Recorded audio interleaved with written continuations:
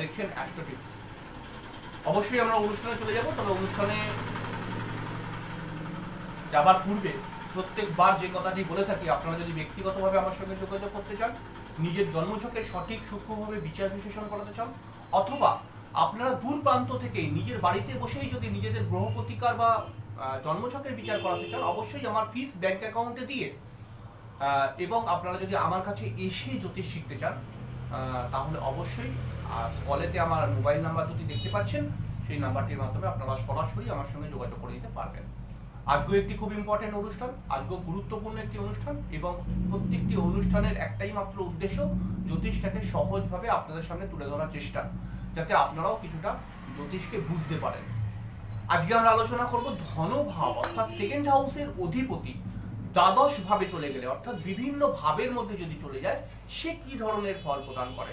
এবং সেটি নিয়েই আমাদের আজকের আলোচনা। এবং জন্মকুণ্ডলীর দ্বিতীয় ভাব খুব ইম্পর্টেন্ট ভাব, কারণ সেই ভাব থেকে অর্থ বিচার করা হয় এবং এখনকার বর্তমান সময় সাপেক্ষে অর্থই কিন্তু সব থেকে বড় কথা। যার কাছে যত বেশি অর্থ আছে, সে তত বেশি মান, সম্মান, যশ খ্যাতিতে পরিপূর্ণতা পায়। যার কাছে যত বেশি অর্থ, সে হয় তত বেশি দামি। এবং যার কাছে যত বেশি অর্থ, সে তার জীবনের সমস্ত স্বপ্নগুলোকে পূরণ করতে পারে। তাই সেকেন্ড হাউস খুবই ইম্পর্টেন্ট একটি ভাব প্রচণ্ড গুরুত্বপূর্ণ একটি ভাব। এবং এই ভাবের অধিপতি বিভিন্ন ভাবে, অর্থাৎ মানে দ্বাদশ ভাবের মধ্যে চলে গেলে পারে কি ধরনের ফল প্রদান করে, এটা নিয়ে আমাদের আলোচনা। সেকেন্ড হাউস থেকে কি বিচার করা হয়? সেকেন্ড হাউস থেকে অর্থ, সঞ্চিত ধন, কুটুম্ব বিচার করা হয়। আমার মুখের বাক্য বা খাওয়া দাওয়া বিচার করা হয়। অর্থাৎ আমি কি ধরনের খাবার খেতে ভালোবাসি? অর্থাৎ জাতক কি ধরনের খাবার খেতে ভালোবাসে? এবং তার সংস্কার বিচার করা হয় সেকেন্ড হাউস থেকে। এবং সেকেন্ড হাউসের অধিপতি যদি সপ্তম বা নবম বা দশম বা একাদশে চলে যায়, তাহলে পারে কিন্তু এটি খুব শুভ মানা হয়ে থাকে। কারণ সেকেন্ড হাউসের অধিপতি যদি সপ্তমে যায়, তাহলে এটা ব্যবসা করার জন্য খুব ভালো যোগ। নবমে যদি যায়, তাহলে পারে ধরা হয়ে থাকে যে সে ভাগ্যে তার অবশ্যই অর্থ প্রাপ্তি প্রচুর আসে দশমে চলে গেলে পারে সে তার কর্মের মাধ্যমে প্রচণ্ড অর্থ উপার্জন করবে, সুকর্মের মাধ্যমে বা তার বিভিন্ন কর্মের মাধ্যমে কিন্তু তার অর্থ উপার্জনের একটি ভালো সংযোগ দেখতে পাওয়া যাচ্ছে এবং সেকেন্ড হাউসের অধিপতি যদি ইলেভেন্থ হাউসে চলে যায়, তাহলে পারে কিন্তু এটি অবশ্যই একটি বড় ধনযোগের সৃষ্টি করবে। তো এটা তো স্বাভাবিক একটা কথা বললাম, তবে আজকের আমাদের অনুষ্ঠান যে সেকেন্ড হাউসের অধিপতি দ্বাদশ ভাবের মধ্যে কি ফল দেয়, অর্থাৎ বিভিন্ন ভাবের মধ্যে চলে গেলে কি ধরনের ফল প্রদান করে, সেটি খুব সামান্যভাবে বলার চেষ্টা করব। আসলে বললে তো অনেক কথা আসে। তবে সামান্যভাবে ধরাবার চেষ্টা করব যে ফলটা কেমন করে দিচ্ছে, ভালো করে বুঝুন প্রথমেই হচ্ছে যে সেকেন্ড হাউসের অধিপতি যদি লগ্নে চলে আসে, তাহলে কি ধরনের ফল প্রদান করে? প্রথমেই হচ্ছে যে জাতককে অবশ্যই ধনবান বানায়। এবং ধনপতি যদি লগ্ন এসে যায়, তাহলে পারে কিন্তু জাতক অবশ্যই ধনবান হয়, চতুর প্রকৃতির হয় প্রচণ্ড চালাক প্রকৃতির হয় সেই জাতক। এবং বুদ্ধিমান হয়, এবং ধন সঞ্চয় করার জন্য যাবতীয় চেষ্টা কিন্তু সে করে। এবং আহ, প্রচণ্ড তার ভিতরে সেভিংস করার মানসিকতা থাকে। সেকেন্ড হাউসের অধিপতি যদি লগ্নে চলে আসে সে কিন্তু অনেক প্রপার্টির মালিকও হয় সাধারণভাবে। এবং জীবনের শেষ ভাগে গিয়ে সে কিন্তু অনেকটাই ধন সঞ্চয় করতে পারে। আমরা সবসময় একটা কথা খেয়াল রাখতে হবে যে ইয়ং বয়সে হয়তো আপনার বয়স এখন কুড়ি বছর বা বাইশ বছর বা মনে করা যাক পঁচিশ বছর বা আঠাশ বছর এবার আপনি মনে করা যাক একটা চাকরি করছেন এবং আপনি চাকরি করার পর আপনার কিন্তু যেটুখানি মাইনে পাচ্ছেন সেটুখানি মাইনে থেকে আপনার প্রচুর খরচ হয়ে যাচ্ছে এবং আপনার ধনপতি লগ্নে আছে। এখানে এই যে আমি বললাম যে প্রচুর সেভিংস করতে পারে এবং আপনার মনে হচ্ছে যে আমি তো কোনো সেভিংসই করতে পারছি না। এখানে খেয়াল রাখতে হবে যে আপনার সেভিংস করার মানসিকতা আছে, কিন্তু যেহেতু আপনার বয়সটা কম, সেই কারণে কিন্তু আপনার মাথা বা আপনার মাথার ভেতরে খরচের একটা অনেকগুলো বিষয় কিন্তু কাজ করে। অল্প বয়সে কিন্তু খরচটা বেশি থাকে কারণ তাদের ভেতরে এন্টারটেনমেন্ট থাকে, নিজেকে সাজিয়ে গুছিয়ে রাখার প্রবণতা থাকে, বিভিন্ন বিলাসিতার সঙ্গে কানেক্ট হওয়ার একটা প্রবণতা থাকে। এরপরে কিন্তু কি হয়, তার খরচটা হয়ে যায়। কিন্তু একটু বেশি বয়সে গিয়ে কিন্তু সেগুলো আস্তে আস্তে করে কমতে থাকে এবং সেভিংসটা কিন্তু বাড়ে। তাই লগ্নপতি যদি সেকেন্ড হাউসের অধিপতি যদি লগ্নে চলে আসে, অবশ্যই সেই জাতক কিন্তু সেভিংস করার মানসিকতা থাকে এবং সে কিন্তু মানে বিভিন্নভাবে সেভিংস করার চেষ্টা করে। অর্থাৎ বিভিন্নভাবে বিমা করল এলআইসি করল ব্যাংকে রাখল পোস্ট অফিসে রাখল, এরকম একাধিক জায়গায় কিন্তু সে ধনটাকে সঞ্চয় করার চেষ্টা করে বিভিন্ন থিওরিতে এবং তার সঙ্গে সঙ্গে ধনপতি যদি লগ্নে চলে আসে, তাহলে পরে কি হয়? জাতক কিন্তু অবশ্যই যাবতীয় পরিবারের মানুষকে চালনা করে। সেকেন্ড হাউসের অধিপতি যদি লগ্নে চলে আসে, তাহলে পারে কিন্তু সেই জাতক পরিবারের লোকদেরকে চালনা করে। অর্থাৎ এমন একটা বাতাবরণ সৃষ্টি করে, এমন একটা ক্রিয়েটিভিটির একটা এমন নিচার তার মধ্যে দেখতে পাওয়া যায় যে সে যেটা বলবে পরিবারের লোককে কিন্তু সেটাই মানতে হবে এবং এরকম হয়েও থাকে অনেক সময় দেখতে পাওয়া যায়। অর্থাৎ লগ্ন সেকেন্ড হাউসের অধিপতি যদি লগ্নে চলে আসে, তাহলে এই জায়গাটা কিন্তু দেখতে পাওয়া যায় এবং তার সঙ্গে সঙ্গে কি হয়? সেই জাতক কিন্তু প্রচণ্ড বাকচতুর হয়। প্রচণ্ড চালাকি হয়, চালাক হয় এবং কথাবার্তা কিন্তু খুব বলতে পারে মানে খুব মানে মুখ একদম মানে একবার বলতে শুরু করলে কিন্তু কন্টিনিউয়াসলি চলবে। এরকম একটা ব্যাপার কিন্তু দেখতে পাওয়া যায় সেকেন্ড হাউসের অধিপতি যদি লগ্নে থাকে। এবং তার সঙ্গে সঙ্গে সেকেন্ড হাউসের অধিপতি যদি লগ্নে থাকে, তাহলে সেই জাতক কিন্তু বেশ কিছুটা সংস্কারীও হয় এবং বড়দেরকে রেসপেক্ট করে এবং একাধিক পথে একাধিক পথে অর্থ উপার্জন করার একটা মানসিকতা কিন্তু তার ভেতরে দেখতে পাওয়া যায়।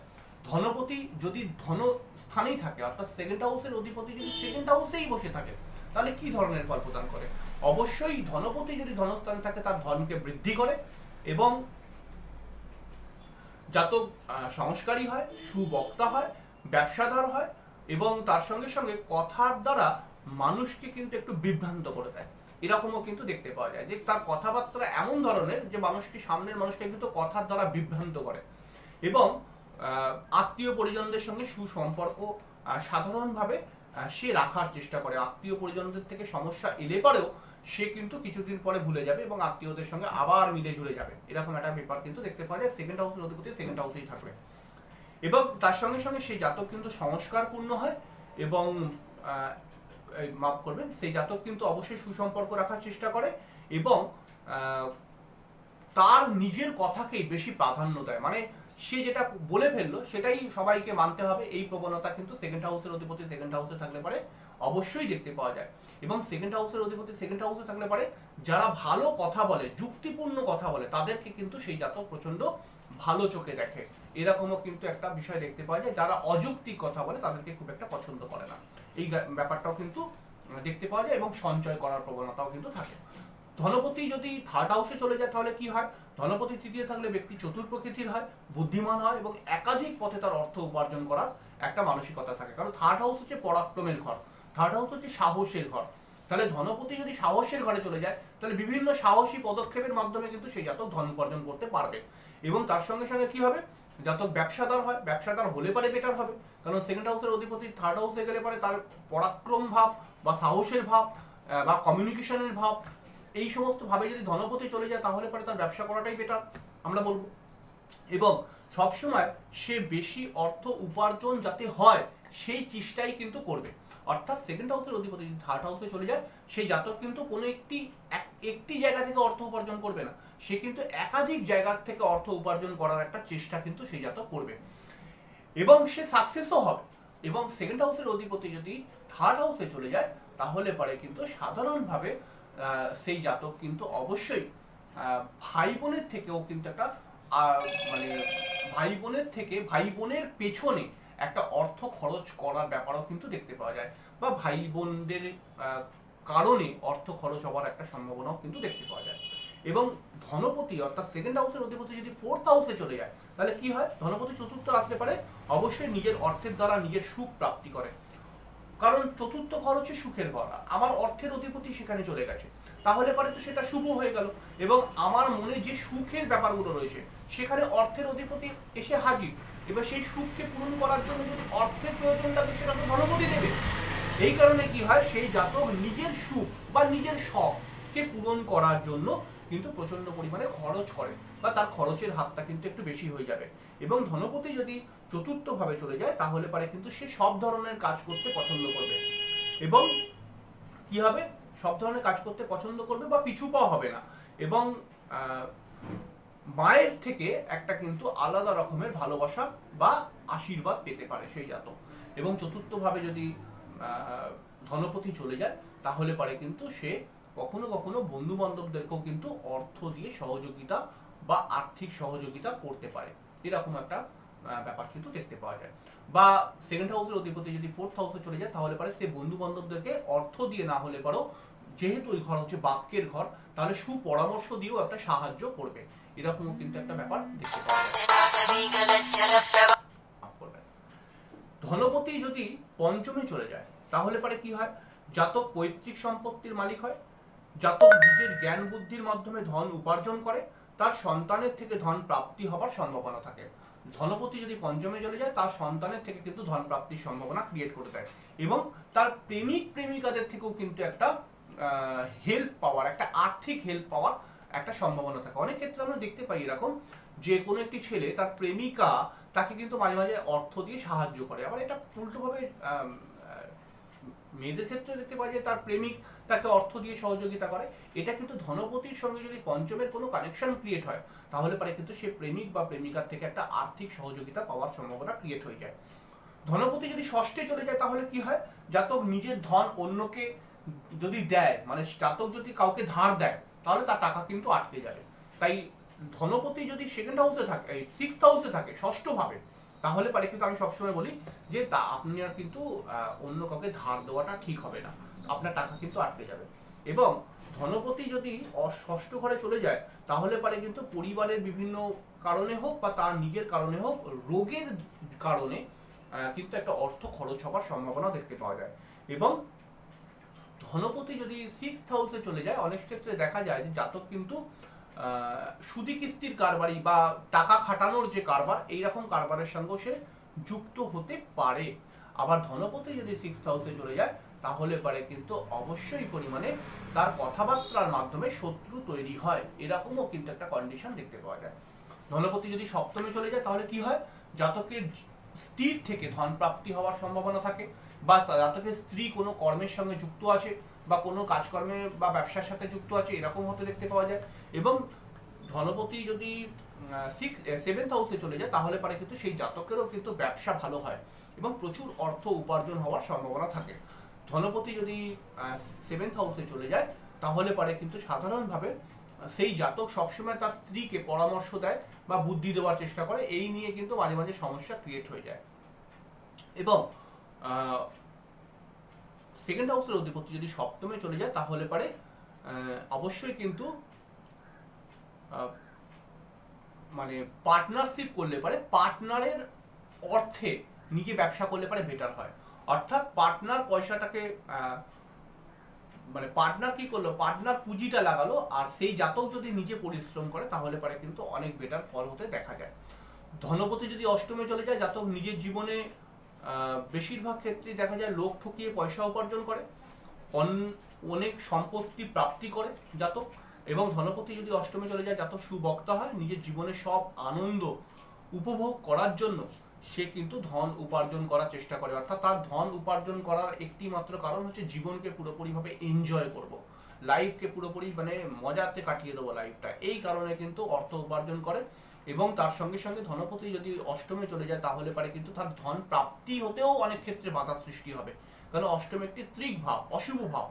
ধনপতি অষ্টমে চলে গেলে পারে কিন্তু চট করে অর্থ উপার্জন হতেও চাইবে না। কিন্তু সেই জাতক চেষ্টা করে যাবে। এবং ধনপতি অষ্টমে গেলে পারে, নিজের চেষ্টাতে ঘর প্রাপ্তি মানে ঘর টর বানাতে পারে। এরকম একটা কন্ডিশন কিন্তু দেখতে পাওয়া যায়। ধনপতি যদি ভাগ্যস্থানে চলে যায়, তাহলে ধনপতি ভাগ্যস্থানে থাকলে পারে জাতক অবশ্যই ভাগ্যবান হয়, সুবক্তা হয় এবং তার মান, সম্মান, খ্যাতি অবশ্যই অর্জন হয় এবং তার জীবনে, নিজের জীবনে অনেক অর্থ মানে অর্থ তার কাছে চলে আসে। ধনপতি যদি নবমভাবে চলে যায়, অনেক ক্ষেত্রে দেখা যায় বাবার এমন সম্পত্তি আছে বা প্রপার্টি আছে, সেটাই সন্তান পেয়ে গেল এবং প্রচণ্ড আর্থিক ডেভেলপমেন্ট করে ফেলল। সন্তানের ভেতরে সেরকম কোনো কোয়ালিটি নেই। কিন্তু অন্যের পয়সাতে সে রাজা হয়ে গেল এবং এটাই বলে যে ভাগ্যর ব্যাপার। মানে তার কপালেই ভাগ্যটা মানে ছিল, ধন প্রাপ্তিটা ছিল। অর্থাৎ ধনপতি যদি ভাগ্যস্থানে চলে যায়, তাহলে ধনপতি দশমে গেলে পরে কি হয়? জাতক নিজের কর্মের মাধ্যমে প্রচুর অর্থ উপার্জন করে। তার অর্থ কখনো কমে না। জাতক সমাজে অবশ্যই প্রতিষ্ঠিতা, প্রতিষ্ঠা লাভ করতে পারে এবং জাতক কিন্তু সমাজে অবশ্যই মান সম্মান পায়। একাধিক জায়গা থেকে অর্থ উপার্জন করার একটা চেষ্টা বা প্রবণতা বা একাধিক কাজ জীবনে তার আসে। ধনপতি যদি দশমের কাজ থাকে, তাহলে পারে কিন্তু সাধারণভাবে কিন্তু সেই জাতক সংস্কারী হয়, সুন্দর কথাবার্তা বলতে পারে এবং সুপরামর্শদাতা হয়ে থাকে। ধনপতি যদি ইলেভেন্থ হাউসে থাকে, তাহলে কি ধরনের ফল প্রদান করে? একাদশ ভাবে যদি ধনপতি চলে যায়, তাহলে পারে জাতকের কিন্তু প্রচুর অর্থ উপার্জন হয়। কারণ সেকেন্ড হাউসের অধিপতি ইলেভেন্থ হাউসে গেলে পারে, নিজে একটি ধনযোগ সৃষ্টি করে ফেলে। এবং তার জীবনে কিন্তু একাধিক লাইন থেকে অর্থ উপার্জন করার চেষ্টা, জীবনে সফল হওয়ার একটা যে প্রবণতা, সেই জায়গাটা দেখতে পাওয়া যায়। এবং তার সঙ্গে সঙ্গে ব্যবসা নিজের জ্ঞান বুদ্ধির মাধ্যমে প্রচুর অর্থ উপার্জন করে। ব্যবসায়িক মেন্টালিটি তার ভেতরে দেখতে পাওয়া যায়। বেশিরভাগ ক্ষেত্রেই ধনপতি একাদশে থাকলে পরে ব্যবসা করার একটি সুযোগ তৈরি হয়। ধনপতি যদি একাদশ ঘরে থাকে, তাহলে পরে তার লিকুইড মানি কিন্তু খুব বেশি খরচ হয়ে যায়। সে যদি মানিকে মানে টাকাকে যদি লিকুইড বা ক্যাশে রাখে, তাহলে সমস্যা বেড়ে যাবে বা খরচ হয়ে যাবার প্রবণতা খুব বেশি পরিমাণে দেখতে পাওয়া যাবে। এই জন্য আমি সবসময় বলে থাকি, ধনপতি যদি ইলেভেন্থ হাউসে থাকে, তাহলে পরে সেই জাতক যদি অবশ্যই প্রপার্টি করে রাখে মানে সোনা, গয়না বা কোনো জমি বা ফ্ল্যাট কিনে রাখলে পারে তার জন্য সেটা ভালো হয়। টাকা যদি লিকুইডে রাখে প্রচণ্ড বেশি পরিমাণে খরচ খরচ হয়ে যাওয়ার সমস্যা দেখতে পাওয়া যায়। ধনপতি যদি ইলেভেন্থ হাউসে থাকে, তাহলে বড় ভাইয়ের থেকে একটা হেল্প পাওয়ার সম্ভাবনা দেখতে পাওয়া যায় বা বড় ভাই ভাইয়ের সঙ্গে সুসম্পর্ক থাকে এবং বড় ভাইয়ের থেকে সুপরামর্শ পাওয়া যায় এবং ধনপতি যদি একাদশে থাকে, তাহলে পারে কিন্তু অবশ্যই সেই জাতকের অল্প বয়সে মানে একটু খরচ বেশি হয়। অল্প বয়সে একটুখানি স্ট্র্যাগেল হয়। একটু বেশি বয়সে গিয়ে তার জীবনে প্রচুর ডেভেলপমেন্ট হতে দেখতে পাওয়া যায়, তার প্রচুর অর্থ উপার্জন হতে দেখতে পাওয়া যায়। তাই যদি ধনপতি ইলেভেন্থ হাউসে থাকে, তাহলে পরে ছক ভালো করে বিচার না করে অল্প বয়সে বড় পুঁজি নিয়ে ব্যবসা করা কিন্তু সঠিক নয়। আমি এটা আপনাদেরকে অবশ্যই বোঝাবার চেষ্টা করছি। ধনপতি যদি দ্বাদশে থাকে, তাহলে কি হয়? জাতকের প্রচুর অর্থ কোর্ট কেস বা শারীরিক সমস্যা, পরিবারের শারীরিক সমস্যার কারণে খরচ হওয়ার সম্ভাবনা থাকে এবং প্রচুর অর্থ খরচও হয়ে থাকে। ধনপতি যদি দ্বাদশ ভাবে থাকে, তাহলে প্রচুর অর্থ ব্যয় হয়ে যায় এবং ব্যয় তখনই হবে যখন ইনকাম হবে। তাই একাধিক পথে কিন্তু সেই জাতকের ইনকাম হওয়ার সম্ভাবনাও দেখতে পাওয়া যায়। ধনপতি যদি দ্বাদশে থাকে, তাহলে পারে জাতক পরিশ্রমী হয় এবং সে কিন্তু তাকে পরিশ্রম করে কিন্তু ধন উপার্জন করতে হয়, কারণ সেটা একটি অশুভ ভাব। চট করে কিন্তু ধন উপার্জন হয় না, পরিশ্রম করলে পারে কিন্তু অবশ্যই প্রচুর ধন উপার্জন সে করতে পারে। ধনপতি যদি দ্বাদশ ভাবে থাকে, তাহলে পরে তার দৃষ্টি সিক্স হাউসে যাওয়ার ফলে সেই জাতক কিন্তু পরিশ্রমের মাধ্যমে ধন উপার্জন করে। ধনপতি দ্বাদশে থাকলে পারে তার কিন্তু প্রচুর ব্যয় হয়ে যায় এবং তার সঙ্গে সঙ্গে তার কিন্তু মানে জমি, বাড়ি এগুলো কিন্তু হওয়ার সম্ভাবনা থাকে। এবং অবশ্যই সে জাতক প্রচণ্ড শৌখিন প্রকৃতির হয় এবং নিজের জীবনের শখ পূরণ করার জন্য সে, পূরণও করতে পারে। অর্থাৎ সেই যে ততটা অর্থ কিন্তু অবশ্যই ধনপতি তাকে দেয়। এবং জাতকের জীবনে কিন্তু সংঘর্ষ লেগেই থাকে, পরিবারের থেকে কিন্তু তার সমস্যা থাকে, পারিবারিক সমস্যা দেখতে পাওয়া যায়, পরিবারের সঙ্গে আত্মীয় কুটুম্বদের সঙ্গে তার সম্পর্ক খারাপ হয়ে যেতে পারে, বিচ্ছেদ পর্যন্ত হয়ে যেতে পারে। ধনপতি যদি দ্বাদশে থাকে, ধনপতি যদি দ্বাদশে দ্বাদশে থাকে, তাহলে পারে কিন্তু অবশ্যই সে কখনো কখনো ভুলভাল কথাবার্তা বলে ফেলতে পারে। ধনপতি যদি দ্বাদশে থাকে, তাহলে পারে কিন্তু অবশ্যই সেই জাতকের ভেতরে কিন্তু বিশেষ করে যেটা দেখতে পাওয়া যাবে, সে কিন্তু উল্টো পাল্টা খাওয়া দাওয়া করতেও একটু পছন্দ করবে মানে খেতেও একটু বেশি ভালোবাসে। এরকমও কিন্তু দেখতে পাওয়া যায়। মোটামুটি ধনপতি দ্বাদশ ভাবে থাকলে পারে কি ধরনের ফল প্রদান করে? খুব সামান্যভাবে আপনাদেরকে বোঝাবার চেষ্টা করলাম। অবশ্যই আশা করি আপনারা হয়তো কিছুটা বুঝেছেন, কারণ অনেক অনেক কথা বলা যায় কিন্তু যেহেতু সময় খুব ছোট, অল্প সময়, তার জন্য অতটা কথা হয়তো বলে উঠতে পারলাম না, অনেক কথা মিস হয়ে গেল। অবশ্যই আপনারা অ্যাস্ট্রোটিভ দেখতে থাকুন। অনুষ্ঠানটি কেমন লাগল অবশ্যই আপনারা কমেন্ট বক্সে লিখে জানাবেন এবং তার সঙ্গে সঙ্গে সামনের রাশিফলের ভিডিও নিয়ে আসছি। যতটা পারব যুক্তির সঙ্গে আপনাদেরকে রাশিফলটা বলার চেষ্টা করব প্রত্যেক মাসে। এবং আরও অন্যান্য অনুষ্ঠান তো আসি যারা আজকে নতুন আসছেন আমার চ্যানেলে তারা এখনও অব্দি যদি সাবস্ক্রাইব না করে থাকেন সাবস্ক্রাইব করে নিন চ্যানেলটিকে কারণ আমার উদ্দেশ্য একটাই, জ্যোতিষটাকে সহজ, সরল ভাষায় আপনাদের কাছে তুলে ধরা। এবং আশা করব যে এই প্রয়াস আমি দীর্ঘদিন ধরে করছি, পরবর্তীকালেও চালিয়ে যেতে পারব। আজ এই পর্যন্ত, পরের অনুষ্ঠানে আবার দেখা হবে। ততক্ষণ নমস্কার, ধন্যবাদ।